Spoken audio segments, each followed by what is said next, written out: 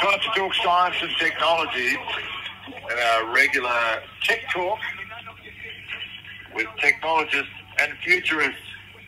Mathew Dickerson, who joins us again now at ABC All G'day, Matt. How are you going? Good, thank you, Nick. I haven't talked to you for a few weeks. Good to see you back in the chair. Yeah, how are you going? Have I, have I caught you overseas? I'm Where act- these days in the world? I'm actually sitting on the edge of the Nile River in Cairo at the moment, so doing it very tough, Nick. Oh, for God's sake, what's got you there? oh, nothing more than interest in pyramids and Egyptology and the Nile River and just having fun. Why not? Look, this is the home of technology and engineering, really. The sort of birthplace of, uh, you know, the, the Library of Alexandria. So, you know, why not? You are spot on, and some some of the technology they had three and a half thousand years ago was quite fascinating. But yes, we digress. Oh, yeah, you know, chemical technology and preservation and embalming. Don't get me started, man. uh, anyway, let's, let's go from the cradle of civilization to the cutting edge. Uh, I noticed that uh, there's been a new world record set by a bipedal robot. Why is this significant? Well, I think it's significant, and it's not that impressive when you look at the time. I mean, I remember you was a pretty handy runner, Nick, and I reckon you could do hundred meters. Uh, that was, that was, high, high jump was always my uh, right. was, was always my mine.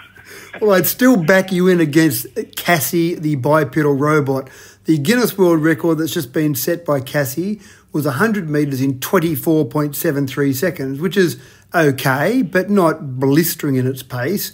But really, the breakthrough here is all about bipedal, and that's where a lot of organisations, universities, researchers are really trying to work on a robot that can walk around on two legs because that's what we do. And so we've designed our world to work around two legs to get around from place to place. So if we're going to have robots come and help us in our community, help us in what we do on a day to day basis, then having a two legged robot is going to be better than, say, a four legged robot. We've seen things like Boston Dynamics, uh, they've got Spot the robot. We've seen even uh, Oregon State University has got their robot called Digit. So there's a few four-legged robots around. They're faster. They can do some things, but they're never going to be quite as good as a two-legged robot. So having a robot that can now do What, what is the advantage of the two legs? I mean, sure, you certainly four-legged robots can go really quickly, let alone robots on wheels. You know, they can just you know, power away. Why is a two-legged robot like a human? What, what, why is that such an advantage?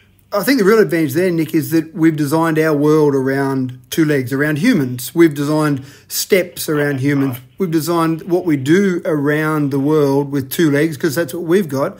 So if we can get a two legged robot to do lots of things as well as we can, then that will give us a huge advantage. Four legged robots, sometimes the space just doesn't fit a four legged robot because it's obviously longer than it is taller.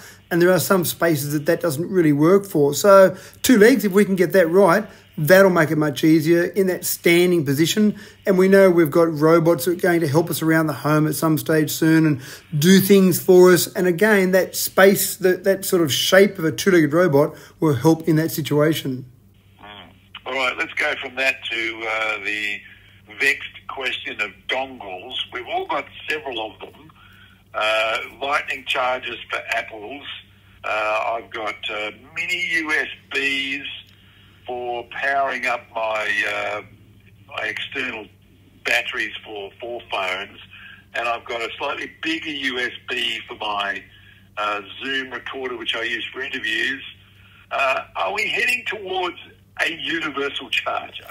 We are heading that way in Europe to start with, but that will go across the rest of the world. And you're right, you've talked about a couple of different USBs. Micro used to, USB used to be the thing, but it used to be worse than that, Nick. It used to be at the stage where each device you bought had its own proprietary charger. And I remember about Oh, 50, I know, I know. 15 years ago it was that I actually had to throw away a good video camera because I lost the charger for it and the charger that I had was specific to that one model of camera and I could not find another charger to fit that camera. So the camera was useless to me without any way to charge the battery. But the European Union has been very concerned about waste about e-waste And every time that you bought a new product, whether it be a phone or whether it be a gaming console, maybe a tablet, for example, then it had a different charge in some circumstances, or even if it had some similarities, you were always getting another charge with each of those devices. And they looked at the incredible amount of waste that was created by all of these charges because many people had some of those charges already and then they looked at all these charges that were building up. You open the bottom drawer of your desk, you had all these different charges. You didn't know what they came with, which one suited what. And then you got to the point where you went, well, I just, I'll put another one in the bottom drawer or I'll throw them all out. And there's lots of waste created. So they've said in 2024, so not that far away, all phones, all gaming consoles, all of those small devices, excluding computers at this stage, but all those small devices must use USB C. And that's been getting to the stage where it's a fairly common sort of charger up to this point. The only one that's bucking that trend has been Apple. Apple have stuck with their Lightning port on their phones. Although on their iPad Pro and iPad Air range, they've gone to USB C, but on their standard iPad and on their phones, they're stuck with oh, Lightning. really? Yeah, so there's a different different charger on different iPads. Yeah, just to confuse the whole world. And and it's been interesting, Nick, because Apple has said, well, we don't agree with this decision. We don't like this because this has been brewing for some time. We don't like this decision because, and and this is an Apple quote here in inverted commas, it will stifle innovation, which I find interesting because they're happy to do it on their iPad Air and their iPad Pro, but they still think it stifles innovation. What that translates to oh, on is the Pro, which is the really yeah the really expensive one. That's right. And what that translates in my terms is it means we can't make as much money out of charging for other devices that use the Lightning cable. Because anyone that makes a device using Lightning has to pay a small license fee to Apple, of course. So here's the big question, Nick.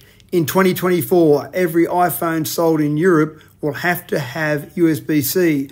What will they do for the rest of the world? Will they make two different iPhones? So if you're in Australia or if you're in America, you buy an iPhone and it's got a lightning port. If you're in Europe, you buy an iPhone and it's got a USB C port.